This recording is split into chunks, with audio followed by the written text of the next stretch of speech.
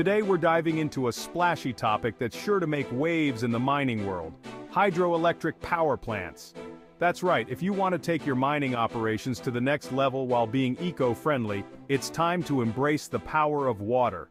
Now picture this, massive turbines spinning in the heart of a beautiful landscape, harnessing the energy of flowing water. It's like nature's very own power plant, providing you with all the juice you need to keep those mining rigs humming. Who needs fossil fuels when you have a river at your service, right?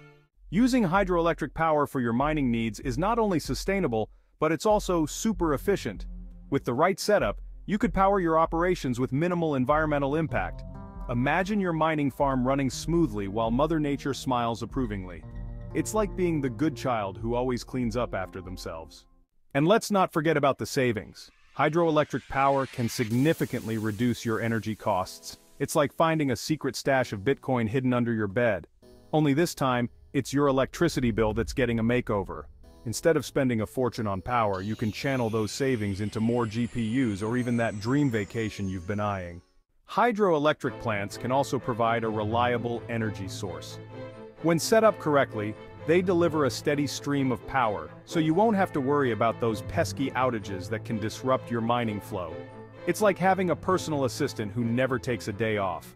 So, if you're ready to make a splash in the mining game, consider utilizing hydroelectric power.